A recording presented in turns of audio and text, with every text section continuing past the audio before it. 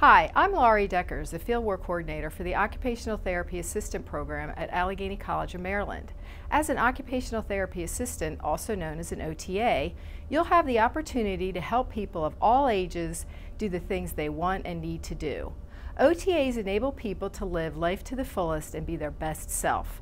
Our 1 plus 1 program is located in the Allied Health Building, and once you finish your Gen Ed courses, you can complete your OTA specific courses in one year. I look forward to seeing you on campus soon.